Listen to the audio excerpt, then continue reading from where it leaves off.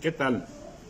Aquí está Miguel el Tapatío, Miguel el Pato Tío, en Tijuana es el Pato Lucas y su servidor José Saldaña Rico, porque hoy es, gracias a Dios, viernes 12 de agosto del 2022 y el rico café con Saldaña camina. Tiene una encomienda de llevar a ustedes Tijuana Historia de Familias. Y desde hace muchos ayeres yo tenía la intención que hoy se presenta. Tener aquí enfrente, cara a cara, a un extraordinario amigo que es un orgullo tenerlo como amigo. Es un orgullo de verlo como ciudadano. Este personaje, el cual seguramente don Jorge Martínez Cepeda, mi entrañable padrino de esto de Tijuana y su historia, le va a interesar. Está conmigo nada más y nada menos con ustedes Marco Antonio, me quito el sombrero, Marco Antonio La Bastida Bojorques. Y vamos a platicar por qué Tijuana es historia de familias y vean cómo en Tijuana, en esta frontera, se trae México en la piel. Esa es otra de las frases. En la frontera tijuanense se vive México en la piel. Agradezco a Marco Antonio Labastida Bojorques que esté con nosotros en este rico en este rico café con saldaña. Mira nomás qué taza y qué rico café. ¿eh? Salud, muchas gracias José. La verdad es que ya te la debía desde cuándo, desde que iniciaste aquí precisamente en la, en la vuelta. Y te felicito porque siempre has sido un personaje, no una persona, un personaje que ha estado transmitiendo la historia de nuestra ciudad a través de todo este tipo de, de redes sociales y, y, por escritos también. Así que te felicito enormemente. Y yo sé que este es tu último, prácticamente ya transmisión, a lo mejor lo vas a estar haciendo más adelante, pero te agradezco mucho, te felicito y te abrazo por este tipo de transmisiones. Muchísimas gracias. Fíjate que la licenciada Verónica Sánchez Meléndez nos dice, hermoso programa, maravilloso invitado, ya tienes como, eres un galán.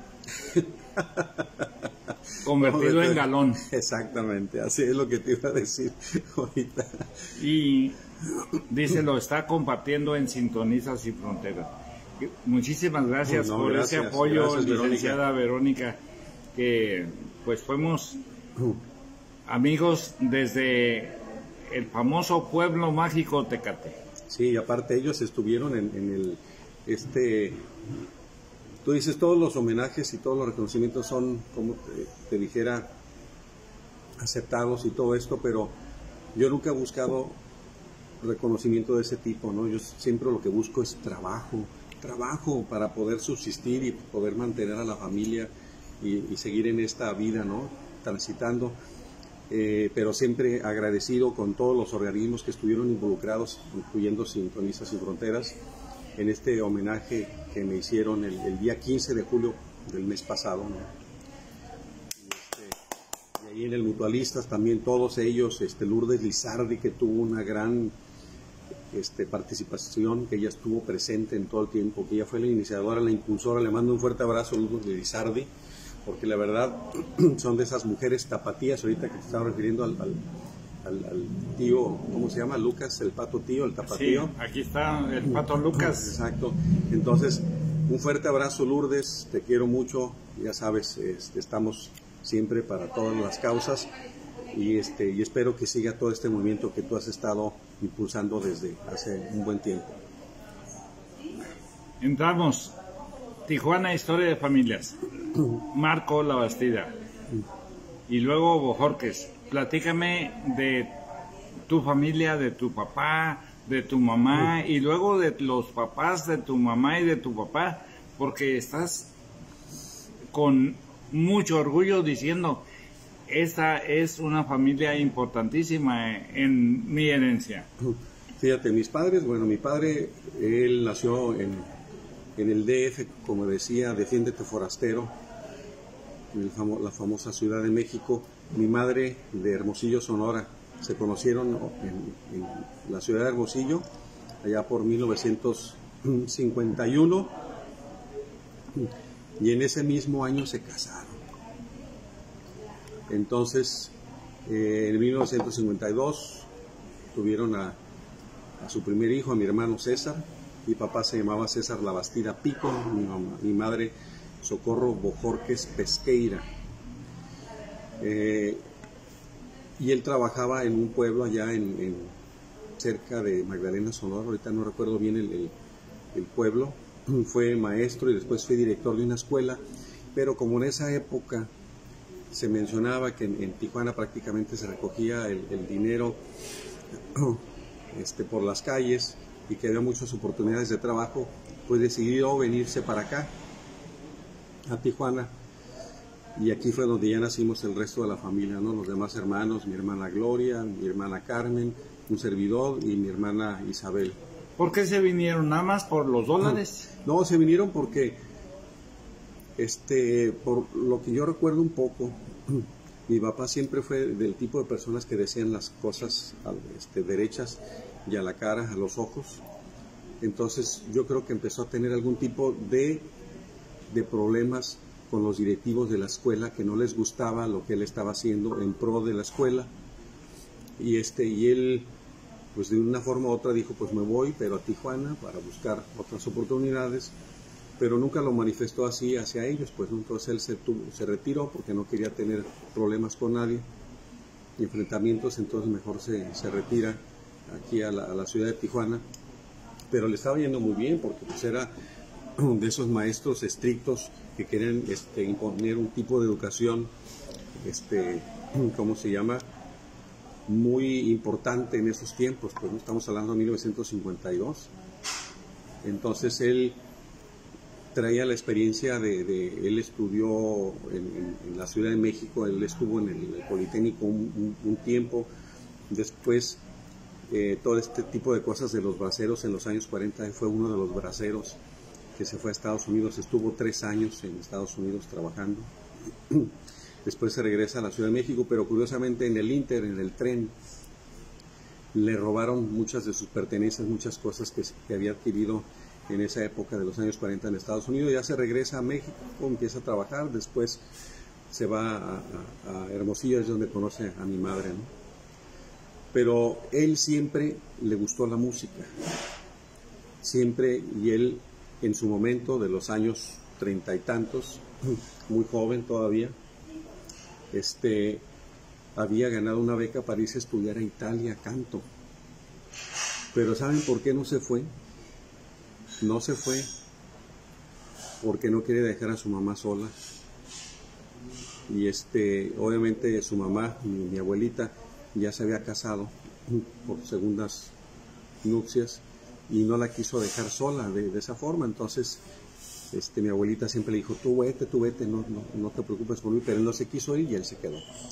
En la Ciudad de México, y, eso fue algo que, que, nunca, este, prácticamente se arrepintió después. Fíjate que la maestra Norma Urrea dice extraordinario invitado, claro que sí. Aquí está un representante de Tijuana Historia de Familias la Bastida Bojorques y también María de Miranda, que dice, un invitado con gran orgullo tijuanense, el tenor Marco Antonio La Bastida. Y luego alguien que seguramente jugó contigo básquetbol, Alejandro Rodríguez, el Trivis porque tú estás alto y no creo que nada más cantabas, sino jugabas básquetbol. Ahorita vamos a llegar a eso. ah, pues eh, eh, estando aquí... Fíjate, mezclando todo esto, no lo voy a hacer de forma cronológica porque más saltando cosas de repente, pero miren, yo jugué básquetbol, jugué fútbol, que yo pensaba que eso era lo que iba a ser futbolista. Este, de fútbol, para mí el fútbol es el único fútbol, el otro es el rugby y que después le pusieron fútbol americano en Estados Unidos, pero es el fútbol, ¿no? El balompié. Jugué racquetball, hice esgrima, practiqué gimnasia olímpica, hice carrera, hice muchas cosas de, atletismo, así es que yoga también. Entonces, en la cuestión de deportiva siempre estuve muy activo y en su momento en el auditorio de aquí de municipal eh, estudié ahí gimnasia olímpica y fui instructor de gimnasia también y juez de gimnasia. Estamos hablando entonces de un personaje que ha tenido estafetas increíbles. Fíjense, esto que estamos por primera vez escuchando es público ahora, porque son incontables las cosas, ¿eh? Mira, hay cosas incontables y te voy a decir, por ejemplo, las estrellas, incontables. Los granos de arena, incontables. Los granos de arroz que te has comido, incontables. Claro. Incontable es los frijoles que nos hemos alimentado, los mexicanos. Entonces, pero esto que estamos oyendo es extraordinariamente contable y es para que ustedes, queridas amigas, queridos amigos, las vayan asimilando, agradeciendo aquí a una compañera que canta precioso también, Julia Guizar, que te manda un saludo. Igualmente, Julia. Entonces, fíjate cómo dijiste que no ibas a contar por efemérides eh, ana, cronológicas. Pero entonces vamos a rescatar la Bastida por un lado y Bojortes por otro, que es bien importante. Perfecto. Nomás déjeme a, este, añadir un poco con la cuestión de, del gimnasio olímpico. Imagínense, después de haber hecho dos horas de, de este, estar en entrenamiento con los chicos, ¿no? Desde las 4 de la tarde hasta las 7. Después hacíamos entrenamiento nosotros dos horas y acondicionamiento físico con lagartijas, abdominales, subir la cuerda, así, con los brazos. Y después de eso nos íbamos a tomar unas agüitas de tamarindo porque andábamos eh, totalmente exhaustos. Esto fue en 1980. Y después como pasaban muy llenos los autobuses y los taxis que creen que hacíamos y a veces no traíamos dinero, desde ahí del auditorio municipal, después de haber hecho todo ese ejercicio, nos íbamos caminando hasta el centro de la ciudad. Y de ahí ya, si traía unos cuantos pesos, ya agarraba para, para subirme al autobús y llegar a la casa. Así es que eso fue. Pero volviendo al tema de los Labastida, mi padre, cuando llega aquí a Tijuana, lo primero que empieza a hacer es, como él también pintaba, aparte de tocar piano y, de cantar muy bonito, tenía una excelente voz de barítono, que eso es lo que él quería ser, este, cantante de ópera.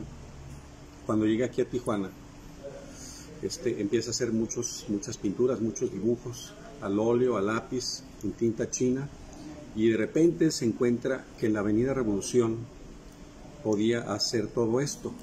Entonces obviamente ahí le generaba muchos recursos en dólares, porque en esa época siempre se, se conoció más el dólar que el peso. Yo el peso después me hacía mucho boruca con todo cómo era la moneda, porque conocía más la, moneda norteamericana. Entonces él empieza a hacer muchas pinturas, sobre todo en faldas, las famosas faldas esas que, que pintaba, y él había ideado una, una, ¿cómo se llama? Un carrete grande donde en ese carrete ponía la falda en blanco totalmente toda y empezaba a hacer pintar con motivos taurinos, porque aparte de eso, mi padre era un amante de la tauromaquia y él quiso ser torero en su momento, porque la familia La Bastida en esa época tenía una ganadería, unos parientes, y entonces mi abuela, o sea, su mamá, le dijo, ¿sabes qué? Dice, un día llegó con el pantalón todo descosido, todo rasgado, porque se puso con un ovillo, pues, ¿no? Entonces le dijo, no, no, no, dice, yo no quiero andar con el Jesús en la boca, que te me retiras de eso. Entonces mi padre pues se quedó con las ganas de, torear, de torear, en grande.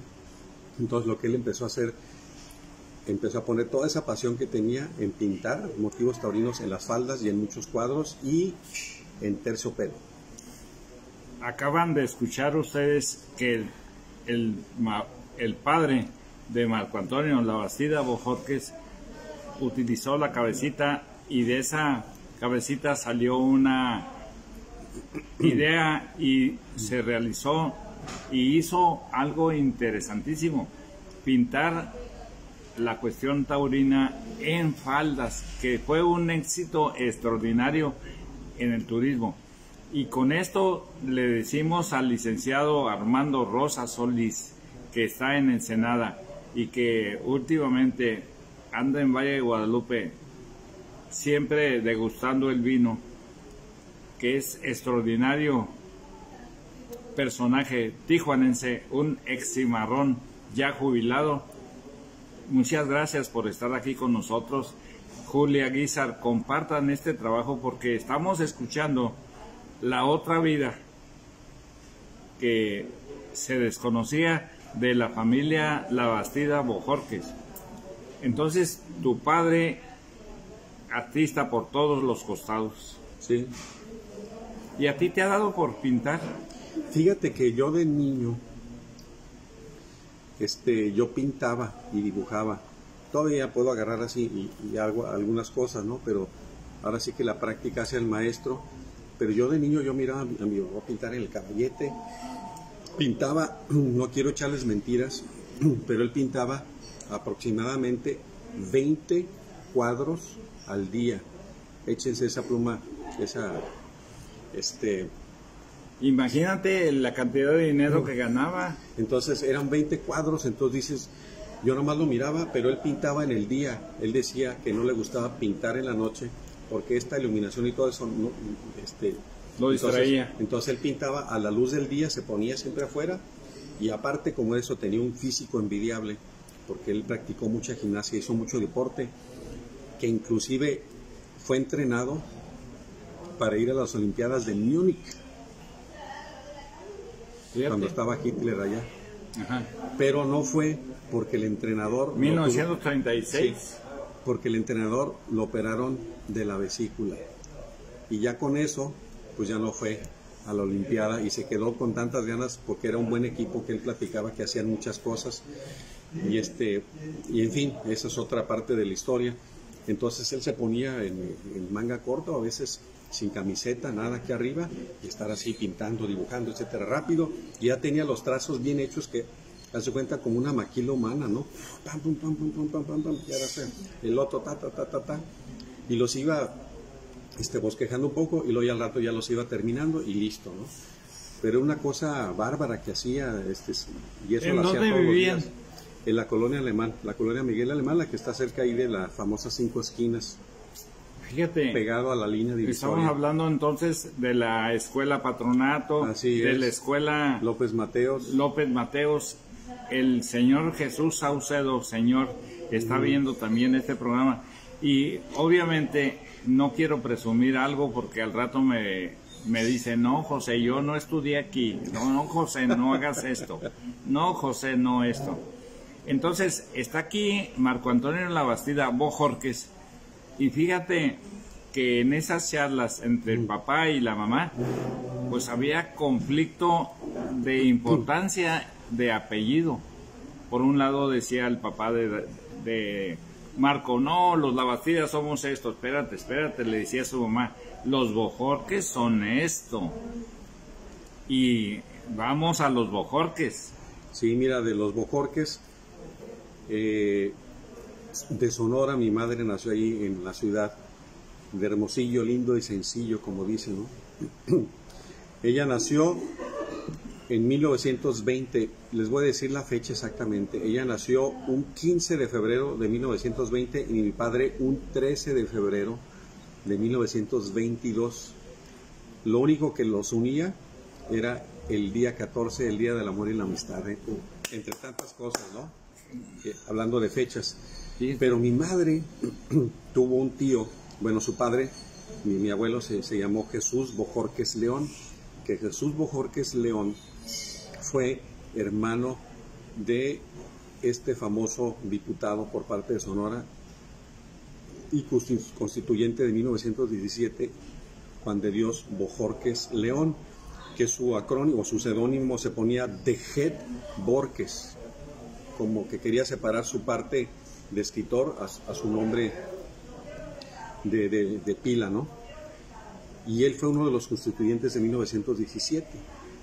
Entonces hay un libro que se llamó este, Los Constituyentes y que ese libro prácticamente narra, porque era, era un cronista nato, narra desde el principio hasta el final cómo sucedieron los hechos allí, en esa, en esa gran cumbre de 1917. Fíjate que esto me está dejando bien claro y lo hago público, que la personalidad de Marco Antonio Labastida, que se ubica como ciudadano ejemplar, como un defensor de las leyes en lo individual, lo trae de herencia. O sea, la cuestión revolucionaria quedó bien clara en tu familia y de ahí ustedes han sido ejemplo de lucha revolucionaria en esta 2022 y, y antes. Claro, ahí le preguntaban al tío abuelo, le preguntaban que si él era de tal partido X, y él, siempre contestaba, yo soy revolucionario. O sea, él en su momento estaba a favor obviamente de, Madero, quería que se terminara todo este porfiriato de, tantos años, y eso fue lo que lo, que lo hizo a él integrarse a ese movimiento, ¿no? Ya después muchas cosas pasaron, fue inclusive, para algunos que no saben, fue este embajador en, Honduras, ahí nació un tío, un hijo de él que también se llamó Juan de Dios, este, y tuvo otros varios hijos, pero curiosamente, para los amigos de la Sociedad Mexicana de Geografía y Estadística, él fue uno de los presidentes en 1933, donde se celebraban precisamente los 100 años de fundación de la Sociedad Mexicana de Geografía y Estadística. Entonces él fue presidente de esa sociedad, pero aparte fue el tercer presidente para todos aquellos que les gusta el balompié y sobre todo la América, fue el tercer presidente del Club América. y a propósito, ya que te gustó el fútbol... Y, senador, y aparte fue su senador cuando murió todavía en 1967, pero este fue secretario de gobernación en tiempos de Lázaro Cárdenas. Fíjense ustedes, entonces, el tipo de herencia genética que tiene Marco. Por ejemplo, aquí dice Alejandro Rodríguez, gol. Vamos a hacer una... Saludo, Alejandro. una posible ¿cómo se, confrontación. ¿Cuánto mides tú? Un 88. Un 88 y más o menos él me parece que mide 1.90 el Trivis. Entonces, un partidito de básquetbol. Imagínate ese tiempo que no agarra un balón de, de, de, básquet. Y este, pues sí, en algún momento, esta es la parte que siempre se cansa al principio, ¿no? Pero ya después agarras condición otra vez. Sí. Y entonces, platícame ahora dónde estudiaste primaria, secundaria y cuándo encontraste tu encomienda, tu encomienda musical. Mira, desde muy niños todos, todos, todos, todos escuchamos siempre la música clásica. Mi padre siempre nos ponía muchos discos, los de acetato, esos de 33. 1.94 mide. Imagínate, no, pues sí está, sí está altísimo. Entonces, este, crecimos escuchando ópera, música mexicana, con obviamente Jorge Negrete, casi Pedro Infante no, ni Javier Solís, era más bien música clásica, Jorge Negrete y otros cantantes que había, y mucha música religiosa también. Pero yo estudié en la, en la escuela Patronato Pro Educación, ahí en la colonia alemán. La secundaria estudié hasta segundo año en la escuela número 4, ahí mismo, en la colonia alemán. Después me fui para el tercer año a una escuela que está por aquí, Con por la Ponce, el maestro Ponce, Antonio Ponce Aguilar. Ya no me tocó él, fíjate, me tocó ah, Sabín y me tocó la profesora. Es que los conocíamos mucho por los apodos, pues. no los quieres decir. Por ejemplo, hay uno que sí, que el maestro Carlos Castro, me acuerdo muy bien, y le decíamos el Batman.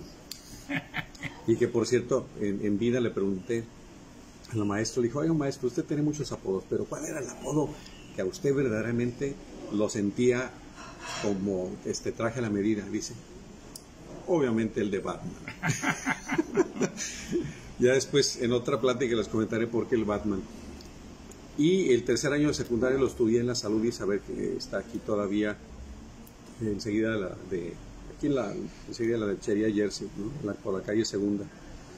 La preparatoria hubo un lapso ahí donde no estudié nada porque necesitaba el certificado de, secundaria y como yo debía una materia de matemáticas, curiosamente, este, que después en prepa fui el Albert Einstein de las matemáticas, porque todo hasta exento quedé. Eh, en ese lapso pues no podía entrar a ninguna preparatoria porque me pedían el certificado, ¿no? Ya después alguien me dijo, no, si pudiste haber entrado porque el certificado te lo podían haber entregado unos meses después y no había problema. Pero ya ves cómo se ponían en algunas instituciones. Entonces yo creo que mi camino estaba destinado precisamente a eso. Este, en ese año del 77, pero previo a esto, yo ya había iniciado con la guitarra desde los 10 años, ¿no? Pero y esa es otra historia que no quiero ahorita andar mucho porque si no nos va a quitar tiempo. Eh, pero en el 77 mi hermana me dice, oye, fíjate que van a abrir la Casa de la Cultura aquí en la Altamira, donde antes era la Escuela Álvaro Obregón. Ah, perfecto, entonces ella nos inscribe, me inscribe a mí en guitarra clásica y ella se inscribe en canto. Entonces yo todavía tengo mis recibos originales, que yo ya te los he mostrado aquí esos recibos originales de inscripción y de colegiatura de octubre de 17 de 1977. Que, que curiosamente en ese año, y lo recuerdo muy bien, el 16 de junio murió este Herbert von Braun, el famoso este, científico alemán, que fue el, que mandó los, cohetes al espacio. ¿no? Luego el 16 de agosto muere este, de ese mismo año el famoso y gran rockero este, Elvis Presley. Luego el 16 de septiembre muere María Calas. Y luego yo el 15 de, octubre me, inscribe mi hermana ahí en la, Casa de la Cultura. Efemérides notables. Alberto Robles, muchas gracias por estar aquí siguiéndonos. Los invitamos a que compartan esta plática porque vamos, vamos a entrar ahora en ese contexto de hace 40 años de Marco Labastida como artista musical y ha sido fácil. No, no, para nada. Los que piensan mucho que, nomás tener voz y de repente agarrar un trabajo y ponerse a cantar, pueden llegar, ¿no? Este, a donde quieran y gusten, pero luego más adelante se enfrentan con algunas dificultades vocales técnicas que tienen que resolver, pero está la chamba, el trabajo, llamándolos, entonces tienen que descansar para poder abordar y corregir algunas cosas. Entonces, yo hubo un, momento de, mi vida donde este, decía, bueno, pues tengo que corregir esto, ¿cómo le hago? Y la maestra me dijo, ¿sabes qué? Dame oportunidad dos meses o tres casi, dice, y no cantes en ningún lado hasta que yo te diga. Pues para mí fue un sufrimiento porque yo había este trabajo y había lugares donde cantar y todo eso y no podía porque le había prometido a mi maestra, Mary Mackenzie, que le mando un fuerte abrazo. ¿Cómo se llama? Mary Mackenzie. Que ella, de ella recibí muchísimo, muchísimo apoyo, al igual que otros grandes maestros que los voy a estar mencionando pero ella en particular fue de esas personas que se quitaba prácticamente el bocado para dártelo y este, le estoy muy agradecido a ella, al igual que, otra maestra, Lois Cohen, que me pagó la colegiatura en el Southwestern, porque no tenía y saca su chequera, y se lo entrega y me dice, estás inscrito en la escuela. Y yo dije, ¿qué es esto? O esto se llama... y, y, de allá de Estados Unidos, ¿sí me explico? Claro. Entonces así tuve ese apoyo de todas esas personas. Y en el caso de Mary Mackenzie, pues ya cuando me dice, ahora sí ya puedes cantar, y ya empecé a cantar y decía, ay caray, este, ya me siento mucho mejor, ¿no? O sea, es otra técnica, es otra forma de hacer las cosas. Entonces fui corrigiendo muchas cosas en el camino y en el proceso, pero siempre la guitarra me acompañaba a todos lados, porque con la guitarra yo la estudié, o mejor dicho, yo la aprendí de forma empírica, o sea, escuchando unas clases con mis hermanas, y cuando dejaba la guitarra yo lo que había escuchado lo, lo repetía buscando exactamente qué posiciones eran en, en la guitarra. ya después un maestro, Julián Rubalcaba, que en paz descanse, cuando me quiso enseñar guitarra, pues ya me sabía todos los tonos. Y ya me puso a acompañar en las misas y todo esto, ¿no? Después, Pues mira. después empecé con el contrabajo, después con la mandolina y después algo de clarinete, así es que sí fue mi trayectoria en ese aspecto. Espero que estas palabras te llenen, te alimenten y demás. Dice, muy interesante la información de tu invitado. Me educa y enseña. Entonces, que creo que es importante que entiendas que Alejandro Rodríguez Trivis te comenta eso. No, no, un abrazo, gracias Alejandro. y a ver qué día nos echamos esa cáscara, nomás que no es, no es esta amenaza ni nada de eso, te advierto que yo siempre este, pulí y, y espero hacerlo mis tiros de larga distancia cuando tenía personas más altas que yo. Sí, los three pointers que le dicen. En su momento así lo hice, te- imagínate, tenía yo 12, 13 años y me encantaba jugar a básquetbol, pero había uno mucho altísimo, ¿no? Yo todavía no tenía esa estatura de 1,88, medía 1,50 y algo, no sé cuánto. Y siempre que tiraba me tapaba, me tapaba. Entonces yo cuando iba a tirar me alejaba de él y tiraba de lejos. Y empezaste a tener mano santa. Exactamente. De Pero tal eso manera que. Hace muchos años. Y entonces estamos a propósito de estas dos palabras, educa y enseña, que dice Marco, últimamente hemos tenido la fortuna, el privilegio de tener cerca a una joven que le vemos futuro, que va a irse, ya ya está el reto, ¿eh? Sí. ya te aceptó el básquetbol. Perfecto, nomás da- dame oportunidad de ejercitar el brazo porque si no vaya- se me va a despedazar. Entonces sale, jugamos básquetbol. Y entonces resulta que en ese contexto que coincide con personalidades interesantes, me toca eh, la pregunta, me llena. ¿Qué le puedes decir tú a Bella Antonella para que le eduques y le enseñes? Pues simple y sencillamente, mira, cuando se trae un talento, el talento no lo es todo. Pues eso a mí me lo dijeron claramente siempre. El talento no te va a llevar, este, en sí no hace tu carrera. Lo que hace tu carrera es todo el entorno, toda esta mercadotecnia, muchas cosas, gente que conozcas. Entonces, el trabajo prácticamente es el 90, si no el 95%, y el talento es muy reducido. Entonces, hay personas que se han dedicado a otra cosa en la vida y, tienen el talento para, para muchas cosas, pero no lo desarrollaron. Y ahí lo tienen, y es una satisfacción que tienen, que pueden cantar, pueden tocar la guitarra, a lo mejor pueden jugar básquetbol, pueden jugar este, muchas otras cosas, pero no quisieron eso, ¿por qué? Porque simple y sencillamente les llamó la atención otra cosa. Entonces yo lo que le, le- le comento a muchos, entre ellos a Antonella, yo le digo Antonella con doble L, pues es simple y sencillamente abordar todo y aprender mucho como esponja, o sea, todo lo que sea necesario para mejorar y seguir adelante hay que aprenderlo y hay que dejarse llevar por eso, ¿no? Y tener siempre a, lo- a las personas correctas, idóneas y que no abusen de uno, porque eso a mí me llevó a pasar en algún momento que mm, prácticamente para cantar un maestro me dijo ciertas cosas y que no eran las cosas que eran para, propias para la voz, pues, ¿no? Entonces, simple y sencillamente es echarle ganas, este, seguirse, seguir trabajando.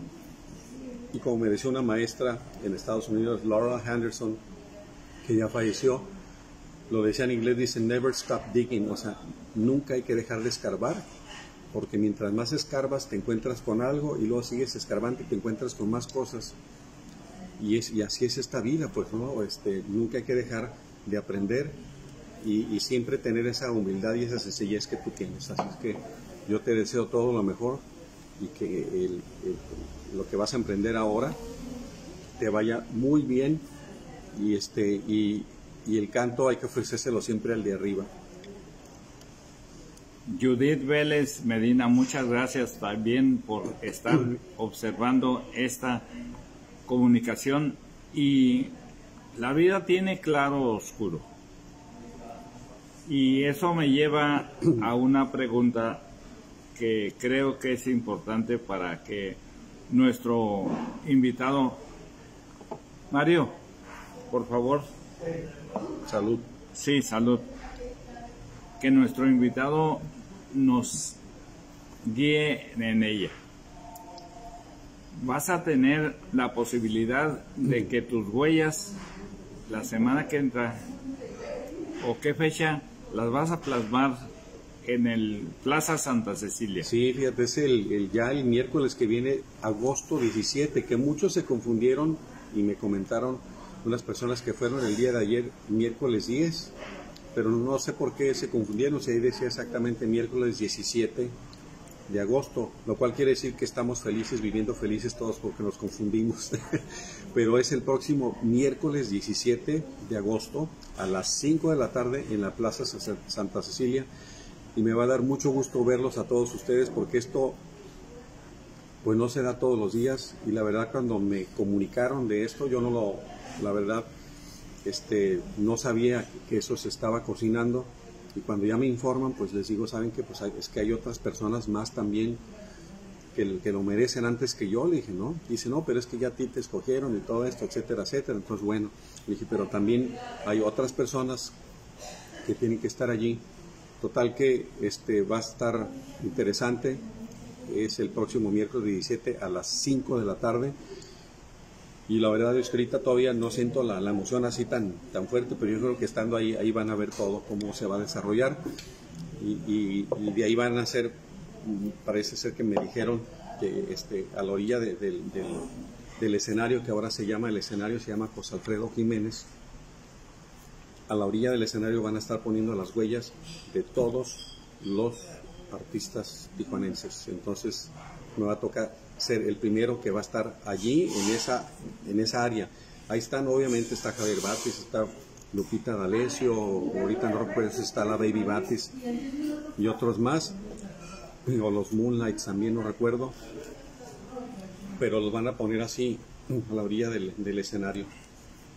Jorge Cermeño también está viéndolo, la maestra Judith Vélez Medina también te manda saludos. Igualmente a y todos ustedes. Yo quiero ubicar esta imagen de un común amigo nuestro, Guillermo Sánchez Memus, con los brazos abiertos y uniendo esa figura con el concepto de Tijuana Historia de Familias y que nosotros en la frontera tijuanense llevamos México en la piel ¿qué puedes ampliar para la familia La Bastida Bojorques?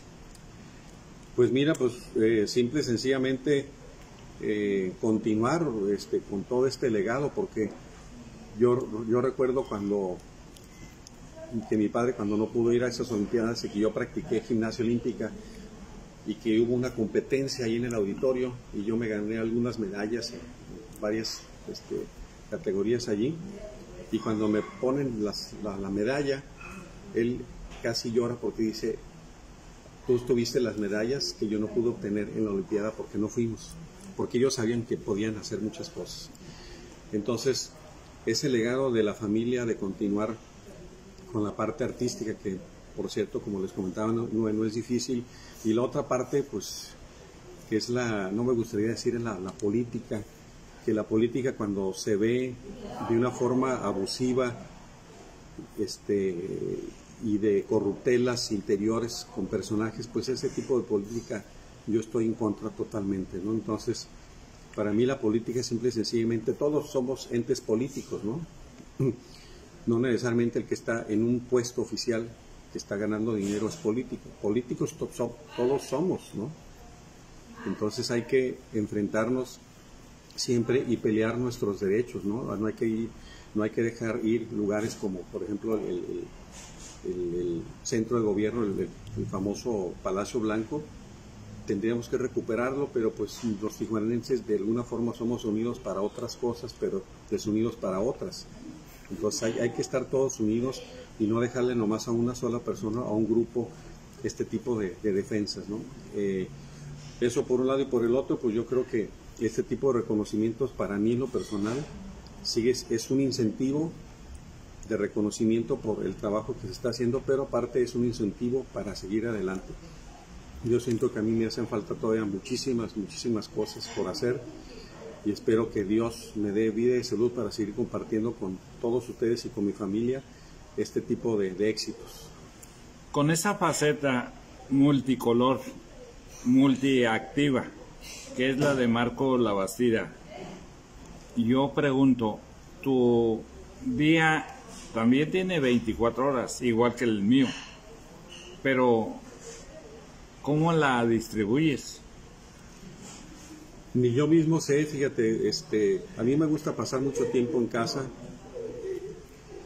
Este, ahora que tengo varias actividades durante el mes, este, estar practicando, porque no practico mucho, practico lo necesario para mantener la, voz, agarrar la guitarra. De repente me da por componer también, tengo ahí varias composiciones. Eh, una de ellas que fue la de, la de la de Navidad. Eh, y de repente también me gustaría divertirme, ir al cine, que, vamos a comer, vamos con la familia, vamos aquí, vamos allá. El fin de semana pasado, por ejemplo, el, que fue el domingo 7, estuve en Santa Bárbara cantando para una gran fiesta final, que así se llama, y es el tercer año consecutivo. Y me voy con la familia y la pasamos de regreso de maravilla porque vamos costeando un poco, llegamos a un lugar, llegamos al otro y luego ya llegamos por acá, ¿no? Entonces, este, la vida sigue y la vida no nomás es estar arriba de un escenario, sino la vida es lo, como dijera John Lennon en algún momento, dice, ¿no? La vida es lo que está sucediendo afuera en las calles, no lo que sucede dentro de un estudio de grabación o dentro de un teatro. Entonces hay que, a mí me gusta mucho de esa forma de convivir, a lo mejor en petit comité, pero esa, es, esa ha sido siempre mi, no mi estrategia, sino más bien, mi forma de, vivir, ¿no? Este, hago las cosas porque me gustan, no me gusta sentirme presionado para hacer cosas y ha habido momentos donde no he tenido, y se los digo así sinceramente, donde no he tenido ni un ápice de ganas de cantar, pero yo digo, aquí salgo, se lo ofrezco a Dios, se lo ofrezco a todos ustedes y en cuanto piso el escenario, todo se transforma. En días pasados me mandaron un video de Jacobo Zabludowski cuando habla de un autor de canciones Otero. ¿Recuerdas tú ese nombre? Alfonso Esparza Otero. Alfonso Esparza Otero. ¿Qué viene a tu mente en este momento que tú dices que escribes también. Sí. Alfonso Esparza Otero tenía extraordinarias canciones. Sí, sí, sí, dime que sí, una de ellas. Entonces, este, y no me acuerdo si otra se llama Eres, algo así. Tiene muchísimas canciones que ahorita no recuerdo, pero la más famosa es esa. Eh, yo creo que cuando se viene algo como me decía un amigo que componía empíricamente, dice, no te tienes que sentar al piano, simple y sencillamente si tienes una grabadora y ahora estos aparatos que graba todo, toma fotografías, más que celulares son otro tipo de instrumentos que nos sirven. Dice, si te viene una melodía o estás tarareando algo, grábalo. Yo así tengo muchas melodías grabadas en mi celular que de repente, mm, sinceramente, parece que una tras otra a veces he tenido que estar en un día como grabando cuatro o cinco. Y digo, híjole, pero ¿cuál agarro primero para trabajar en todo? Lo que hago es, lo que viene lo grabo. Y dije, ahora sí, ya después los voy sacando de uno por uno para continuarlos. Es como un tema, ¿no? Aquí te dan un tema para desarrollar. Y ya teniendo el tema para desarrollar, pues ya lo haces, ya sabes cómo poder hacerlo. En la música es lo mismo, si tiene uno un tema principal, ya sabe uno musicalmente qué es lo que puede venir más adelante. Entonces es lo que hago. Y con respecto a las letras, pues también. El otro día, digo, el otro día compuse una canción este, de corte totalmente ranchero, pero está muy así de cortavenas y me vino la música y la letra juntas. Que, estoy orgulloso de eso porque la terminé ya, nomás que todavía no se las voy a mostrar hasta que ya esté registrada y, y lista. y en este mundo virtual, donde ya se toma el mando, estamos en comunicación con múltiples personalidades y demás. Por ejemplo, en tu caso, ¿cómo te podemos ayudar para presumir un poco más de tu actividad profesional? Porque en días pasados me dijiste, me encontré con Antonio de Carlo esto y lo sacamos en Spotify. Ah, sí. Platícame. Eso es una, una muy buena canción, se llama Hermanos de Bohemia, que curiosamente me tocó ver cómo nació la canción. Es una canción que Clayton, le mando un fuerte abrazo a los dos, a Clayton y a Antonio de Carlo. Clayton este, tenía la música y dijo, quiero hacerle una canción, dedicarle una canción a mi brother, a Roberto Cantoral, que acababa de fallecer ni siquiera una canción así sentida de, de bohemio, porque él era un bohemio, etcétera, etcétera. Entonces le dice Antonio de Carlo, y una vez yendo a la casa de Jorge Villalobos, también que le mando un fuerte abrazo a mi compadre, el gran pianista Jorge Villalobos, que por cierto hoy en la noche vamos a estar en la Casa de la Cultura a las 7 de la tarde en un homenaje a un, un amigo guitarrista y maestro de ahí de la Casa de la Cultura que se nos fue, Javier Martínez. Y ahí va a estar un concierto. Este, estábamos en la casa de Jorge Villalobos y estaba así de repente Antonio de Carlos, entonces le iba a preguntar a Antonio y le dice, espérate, espérate, espérate. Y está así, cuando alguien está escribiendo, tiene la, vista así como difusa, ¿no? Como, como que no te enfocas en nada, pero estás, se está viniendo algo y dices aquí, no. Entonces, pa, pa, empieza a escribir y dice, ok, ya está.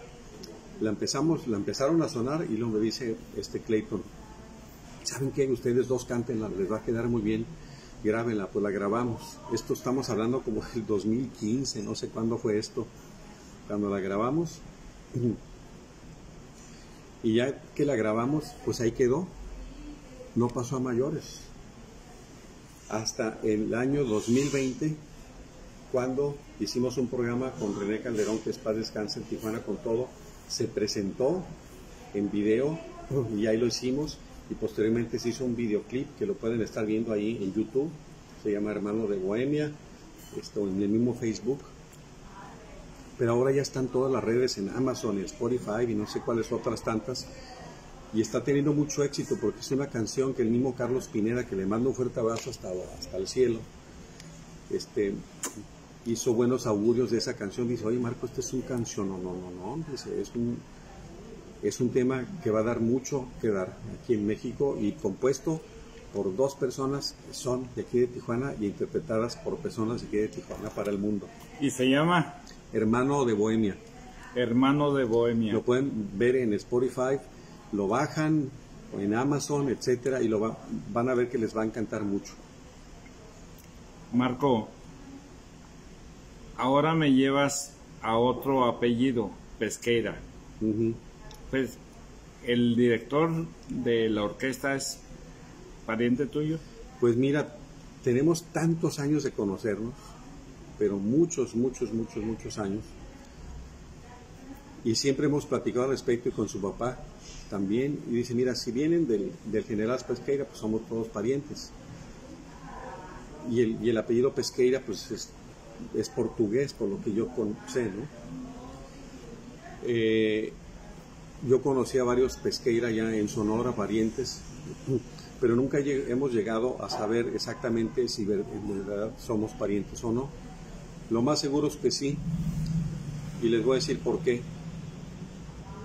En una ocasión que tenemos un, concierto, Armando Pesqueira y un servidor en la Casa de la Cultura, llega una persona y me saluda y dice, oye, dice, qué fabuloso tocaste el piano. Dice, me encantó, ya, ya lo dejé que hablara todo Y, lo, y luego dice, y el tenor me encantó también mucho como cantó, etcétera, etcétera. Dice, me, me felicitas al, al, tenor también. Y luego le dije yo, pues sabes qué, le dije, pues este, te agradezco mucho tus palabras. Dije, pero yo soy el cantante y el pianista es Armando. Ay, perdón, me confundí. Dice que los dos están altos y delgados. Entonces, y siempre nos hemos llevado como hermanos, ¿eh? Eh, Armando Pesquera, que le mando un fuerte abrazo, es un, un y, personajazo y director, y él de, tiene que estar también ahí en la huella de las estrellas porque es, ha sido un vínculo y un, este, una parte importante del desarrollo musical de aquí de nuestra ciudad. Concluyo esta charla, si así me lo permites, con una palabra de otro Armando. Armando Baquian. Armando Baquian. Un abrazo. Y, y Armando dice en inglés, Ajá. porque él es muy afín al idioma inglés. It is what it is. Para ti, lo que es. ¿qué significa it is what it is? Es lo que es, pues es que cuando te toca, te toca, esa es la otra parte que, que se puede decir, es este, es, uh, yo lo tomé esto, te digo, yo, yo pude haber hecho otras cosas en la vida, te, tenía inclusive hasta entrar al seminario, yo quería ser sacerdote, quería ser ingeniero, quería hacer muchas cosas, este, instructor de, de, de deporte, infinidad de cosas, ¿no?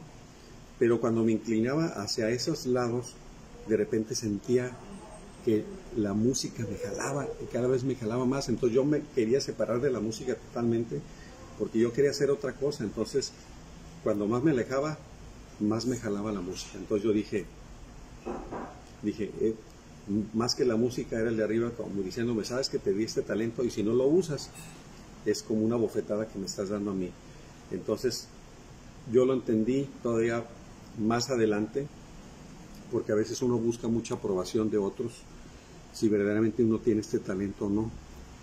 Pero en una ocasión, y lo voy a mencionar rápidamente, muy rápido, en una ocasión, por algunas circunstancias de la vida, no me sentía bien anímicamente, tenía un concierto que dar, y yo generalmente antes, cuando tenía conciertos en la noche, y que me invitaban a cantar misas, yo utilizaba la misa como un precalentamiento para llegar ya al concierto listo, ¿no?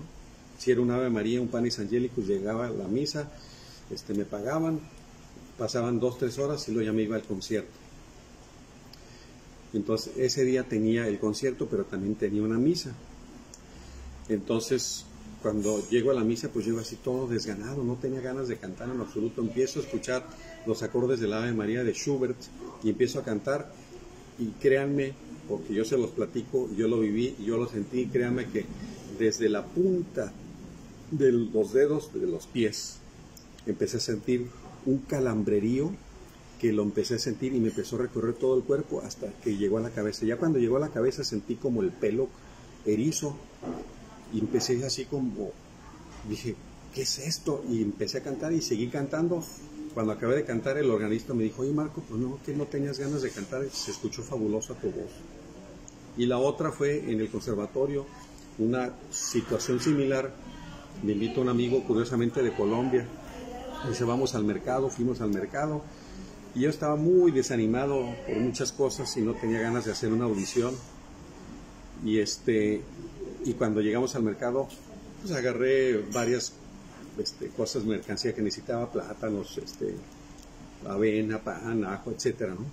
Cuando llego a la caja para pagar, la chica con unos ojos me dice así, 10 dólares, 10 dólares, entonces yo dije, 10 dólares exactos, dije, dije, yo no lo calculé y en ese momento dije, es el de arriba el que me está diciendo que cante y sentí exactamente lo mismo que sentí en la misa, entonces yo siempre que canto, este, como lo hacen también mi, mi compañero y colega José Medina, es encomendarnos a Dios y adelante y este y encomendarse a Dios siempre es benéfico porque le da a uno la satisfacción y eso es lo que a uno le impulsa a seguir adelante.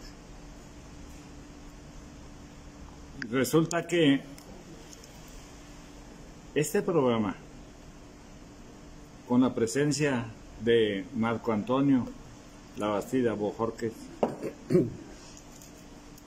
Nos une en presencia de Dios.